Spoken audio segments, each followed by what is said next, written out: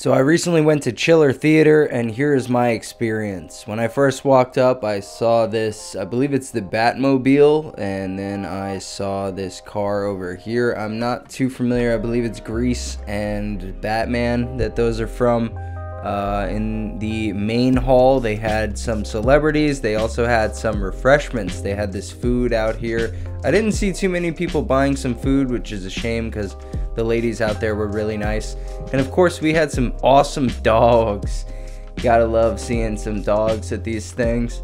Um, I don't see too many of them often, uh, as often as I'd like to. I wish these places were filled with dogs, but that's just me. So, uh, looking through this room, this was the main vendor room. Uh, this is where I spent most of my time. I didn't care too much about the celebrities that were going. Uh, I normally don't. I normally don't care too much. I mean, I do care, but to sit in a long line to just to pay someone to take a picture with them, it just feels weird to me right now, and, and I just don't feel excited enough to do that.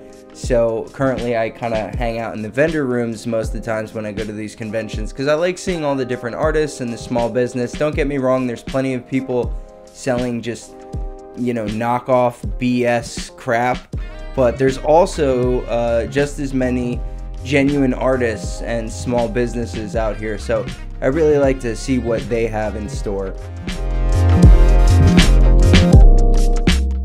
One of the first small businesses that I stopped at was this artist here who had this very uh, uh, I don't know, trippy, Alice in Wonderlandy. I don't even know how to describe it. It was like a. I'm blanking on the art style or the artist that that uh, I can think of, but it, it was it's, it was really cool stuff. Um, I love I loved her setup, so I just wanted to show it off a little bit. This is her information. If you're interested in checking her out, please do but she yeah she had this very cool like tim burton kind of um, hollow knight. I don't i don't even know how to describe it but it was just this gothic cartoonish surreal i don't even know uh, almost like uh, kind of reminded me of where the wild things are almost a little bit too. It, it just felt like it was inspired by so many different things such, such a cool unique style Next up, I stopped at Little Replicants. Uh, this was cool. They were handmade clay figures. She had all different types of designs. There were Beetlejuice ones. There was an Exorcist one. Uh, I really, really like them all. It was, it was really tough to pick a favorite. The uh, attention to detail on all of them was really, really awesome. And this was one of the more unique booths that I saw. I don't know how many other people were making clay figures. Here are some of the Beetlejuice ones, the Evil Dead one. I mean, they're just, they just looked really awesome, so I just wanted to stop and show this booth a little love.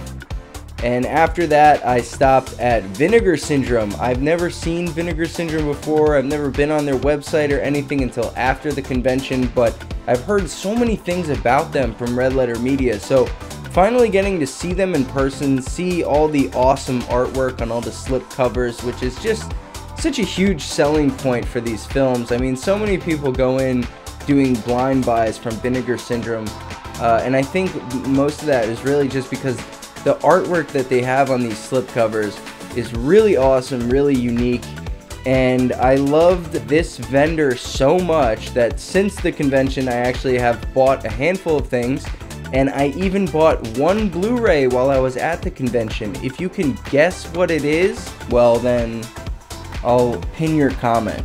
I watched it and it was so good. I loved it. It was hilarious. But that's just my opinion. Anyway, uh, moving on, we had this t-shirt vendor I believe I've seen this guy at multiple uh, conventions. He has a lot of variety of T-shirts, some really unique designs as well.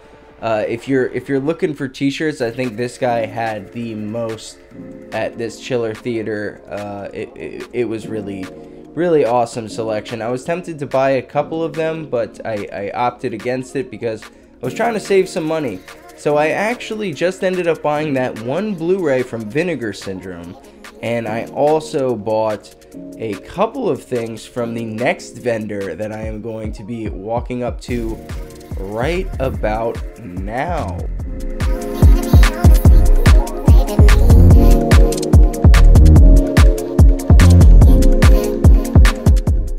this is an awesome vendor. This guy named Sean, he uh, he takes care of old, forgotten, uh, obscure titles from VHS, and he, he puts them on DVD so he can preserve them. I believe it stands for VHS Preservation Society or Service or something like that. I believe it's Society. Uh, but uh, yeah, he does a great job and he has a lot to choose from. A lot of different DVDs, and he was selling them for $10 a piece, which was pretty awesome because there were a handful of these movies that I've seen uh, on Best of the Worst. He had a bunch of them from Best of the Worst, and that was really cool to see because I'm a huge Red Letter Media fan. So I actually ended up picking up two DVDs from him. I bought two DVDs from him.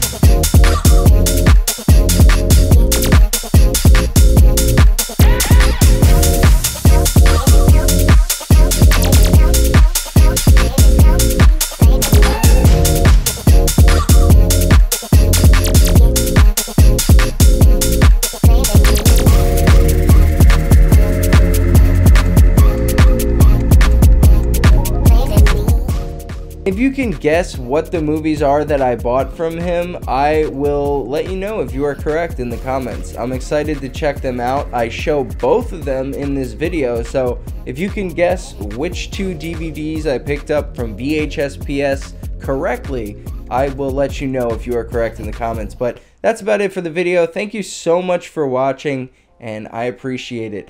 I hope you enjoy the rest of your day and that's it. I I really got to come up with a better outro for these videos because it's really just like, all right, so I'll see you later, and that's it. But yeah, that's it.